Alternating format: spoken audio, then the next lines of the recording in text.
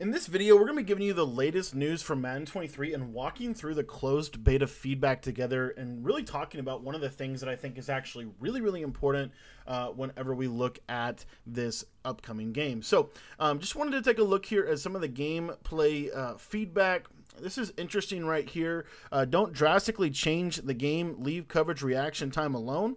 Uh, I thought this was really interesting. Uh, I just wanted to notice the dev note here. The number one feedback topic that we received was this one. Rest assured, Madden community, our vision of the game balance is consistent with yours, and the gameplay you experienced in the closed beta is what you will be playing on launch day. There's been polish added, bugs fixed, but by and large, as you can see here, the overall experience will be as you played in the closed beta. I've been doing videos on the channel for the last month and a half with content that I learned in the closed beta, just sharing them with you on Madden 22. This is something that I've talked about on my channel for the last several years. They're not going to wholesale change the game from beta to game. That's why everyone was saying in Madden 22 that the game was so broken, it was it needed to be patched. There was so many bugs out of its mind, but there was bugs and then there's gameplay. Okay, I want to say that again. There's bugs bugs, and then there is gameplay. The game was designed a specific way. The user was supposed to be slow. Routes were um, tight end blocking was supposed to work right the way that it did. Running backs not being able to pick up pressure was supposed to work the way that it did. At least that's what we can take away because they've had over a year to fix all of those things or change those things, and they didn't do that. The game that I was looking back at my channel, there's things that I broke down last summer that actually still very much so applied in Madden 22 to this day. So the point is just to simply tell you guys um, that you know they're not going to wholesale change it. So a lot of the content that we found in the beta is going to apply into the game. Um, so really excited about that. If you want to learn all that stuff make sure you join our patreon. We've got a ton of ebooks we're working on behind the scenes right now getting ready for launch. And the cool part about it is our uh, Patreon members, hey, they got a whole defensive guide in July, um, and there's going to be more to come from that as well with content that, again, we can teach in Madden 22 that does work in Madden 23 based on our playing the beta. So, anyways, um, all I'm saying is just uh, take that with a grain of salt. Like, you know, again, they're not going to wholesale change the game. Okay, um, not I don't really care about this honestly. Um, I don't know. I guess they're not putting referees in. It's not really a big deal to me. Uh, play awareness too easy to run the same place over and over again. Okay, let's take a look at this. We've made a number of changes since the closed beta to bring more balance to gameplay. We believe these changes will bring more variety to play calling, but we want to hear from you, our community, when the game launches to let us know how you feel about these changes. Uh, Logic added, oh, this is interesting. Logic added so that when defensive backs are playing in linebacker positions, they will have slower reaction to the running game. Um, I think that's going to be interesting because I do think that you're going to see people in Madden 23 have a more run focused offense.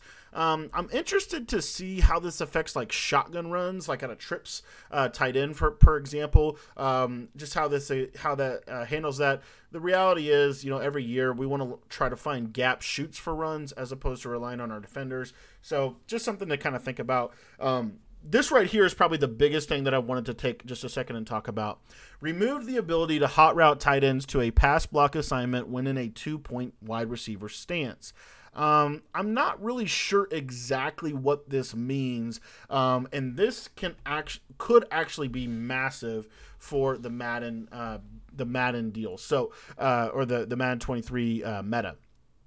So I'm gonna go over here to Huddle GG. Just wanted to show you, um, just want to show you this um, this playbooks, and I want to show you something really, uh, really, really interesting. So just gonna go over to Patriots playbook here, and this could literally be game changing. So if you take a look at um, like Gun Bunch, Gun Bunch has been the number one offense for as long as I've been playing Madden. In fact, I'll literally always go. It goes all the way back to like Madden 12, uh, Madden 11. Bunch has been good for a really long time. Okay, um, part of what makes Bunch so good is the fact that you can block a running back on one side of the formation and you can block a tight end on the other side of the formation.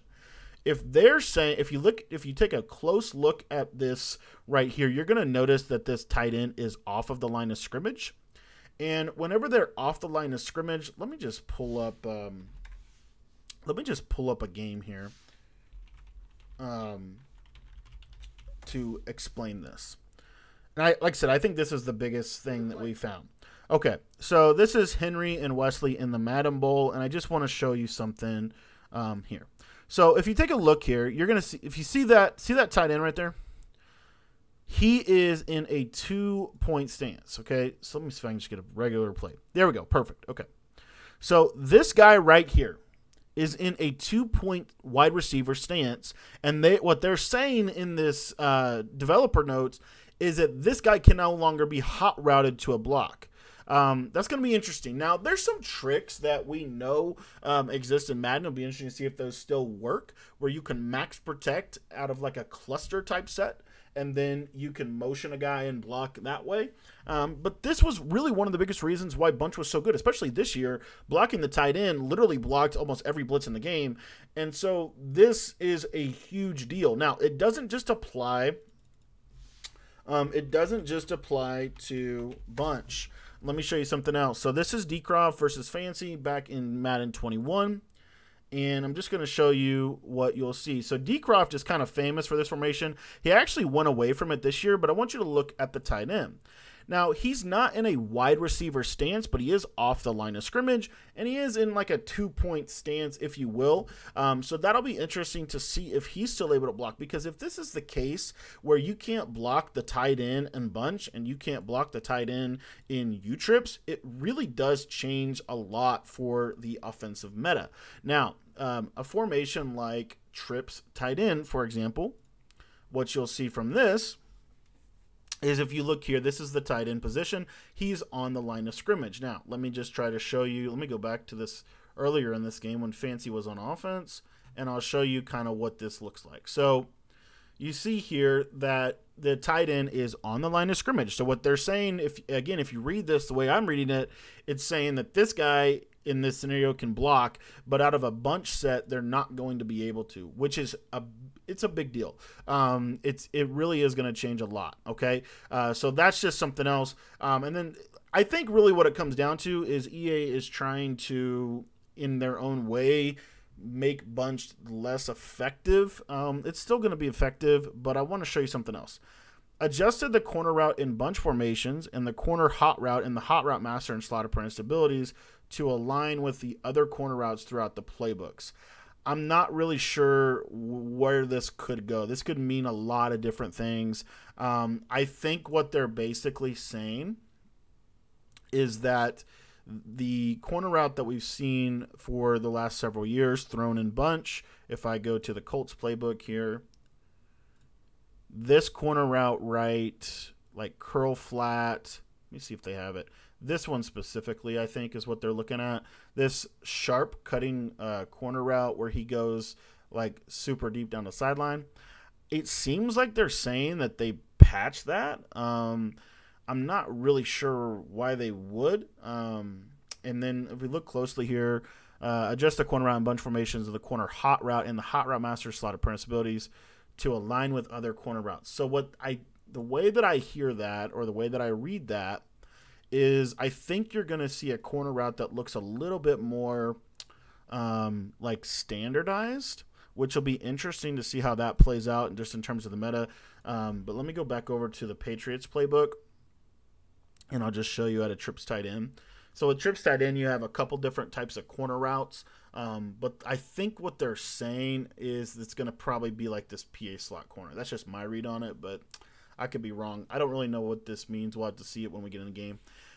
Uh, I really like this. Um, made improvements to man coverage pre snap alignment. Uh, this has been something really important that they need to do. It can also push this to a man to man meta, but I mean, at the end of the day, like, I, I feel like this pre snap alignment deal has been an issue in Madden um, for a long time. Uh, for a long time. So I really hope that this is good.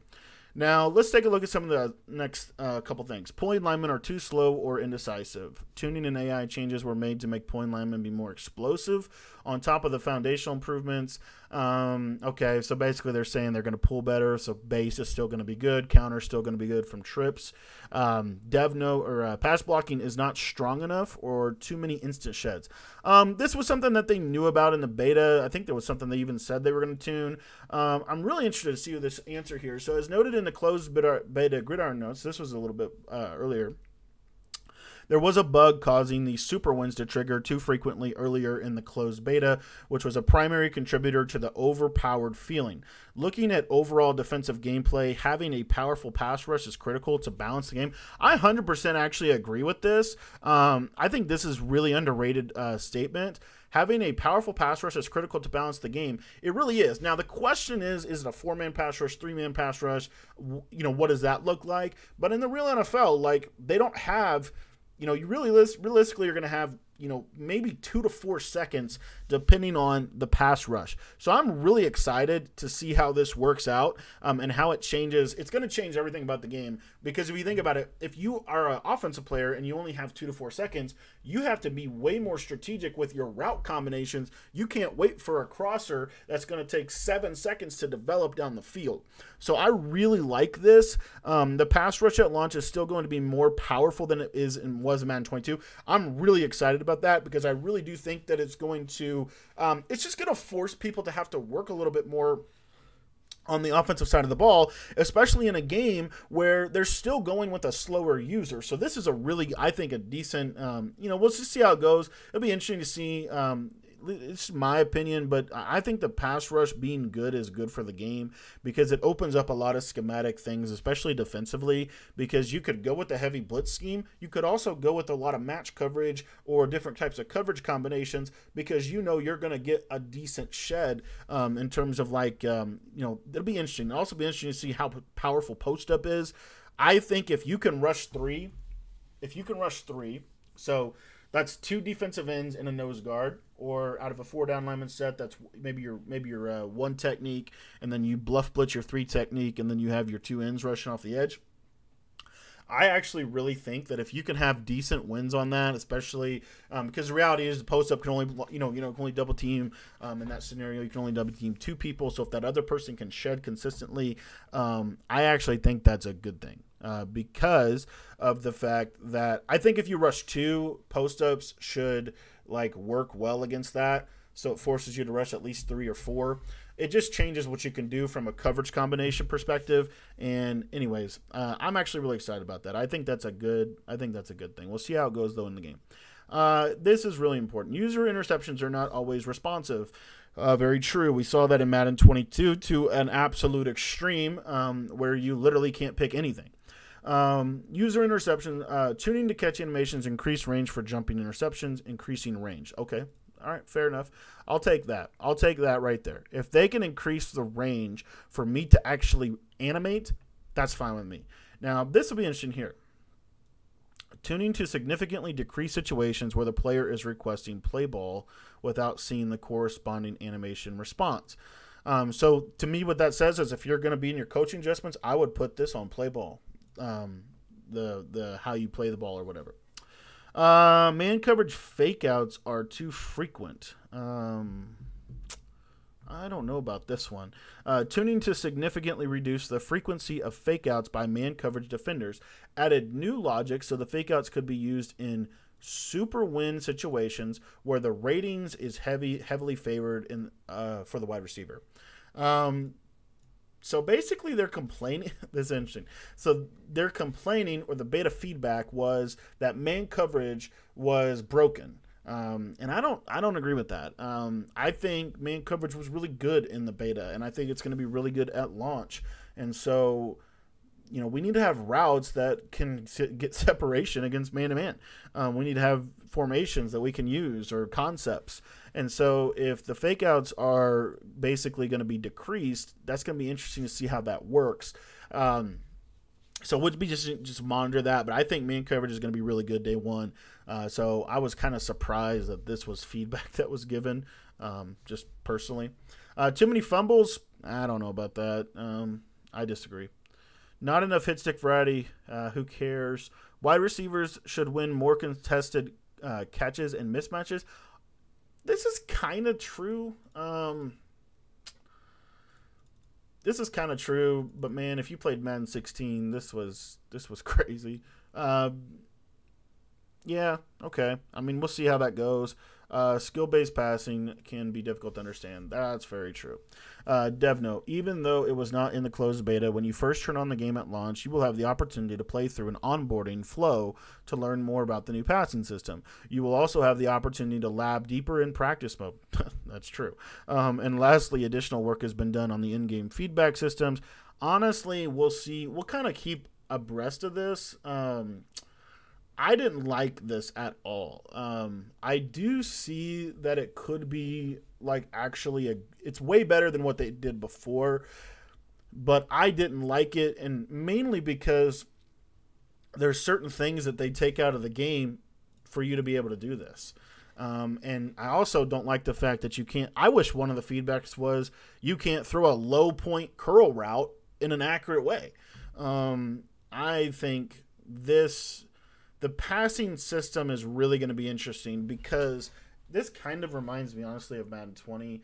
Um, but I think it's gonna. I think because of the slow user not being able to lurk 40 routes, um, I do think you're still gonna be able to pass the ball well.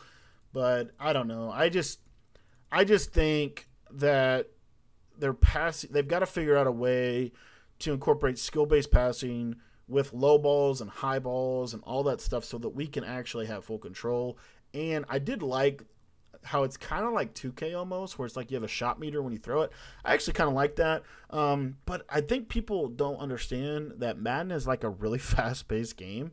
And so this to me is going to take way too much time um, to to like do in the middle of a play. But that's just my opinion. Um, so I just I just wish they'd fix low balls to be honest. Um, but that's pretty much it um, about this. I can't tell you. This is very very interesting. Um, let me jump on Twitter here real quick and see if I can show you some of what people were saying about this. Um, let me see if I can find. Um, yeah, here we go. Here's some different things here. Um, you know, Zan, shout to Zan. Logic added so that when DBs are, he, he's a big fan of that. Civ Bunch will assumedly still be really good. Routes are literally just the best in the game, but anyone trying to downplay not being able to block your tight end is wrong. And I think he's right about that. Um, he responded to this. Let me see if I can actually. Um, I can't, dang it. Let me see if I can find the actual original post. Um, yeah, a lot of people, a lot of debate about Bunch. Um, I agree with Decroft here. This is in, this is this is the bottom line with EA, and they really need to fix this um, make linebackers able to jump. They are already at such a disadvantage because EA will not give them the correct change of direction ratings. That's true. Let alone the fact that they can't jump. Rest of the patch notes are great, like seeing the fact QB fumbles in the pocket have been reduced. I actually agree with that. I was fumbling a lot the, on that one, but yeah, I agree with him on this if they're going to make this a reality where you can't put safeties in at linebacker and nickel sets to be able and, and still effectively be able to stop the run, then they really need and if you think about it from a schematic standpoint, this would so help the game. If linebackers could react to the ball in pass coverage, this would so react uh, like it would re- significantly help.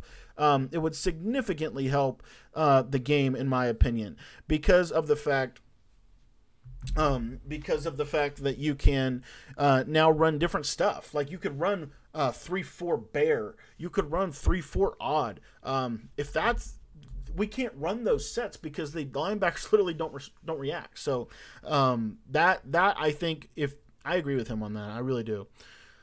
So yeah, that's pretty much it uh, for me. Let me just kind of scroll through this Twitter feed. Uh, yeah, in Stony, this guy is actually a really good labber. Uh, he's kind of a lab rat. So if you haven't checked him out, I would recommend checking him out.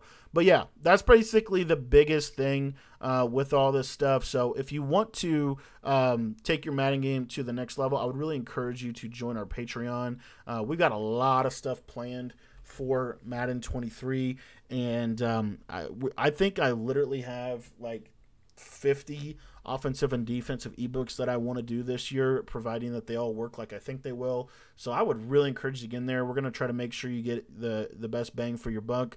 It's only ten bucks to sign up. It'll get you access to everything. Um, you get access to like all of our Madden 21, 22 stuff as well. Uh, with that, but yeah, that's the that's the Madden 23 beta uh, or uh, uh, feedback, gridiron notes, all that stuff wanted to do a video on this. Hope you enjoyed it. And again, um, I want to just say this real quick as I close this video out for those of you still watching. Um, we've been talking about this stuff for the last month and a half. And I knew this was going to be a, a thing. They're not changing the way the game plays. They're tuning little bitty pieces like how frequently your quarterback fumbles or what the time or how um, dominant the pass rush is. They're not going to wholesale change the game. The zones are going to play the same. The routes are going to work the same.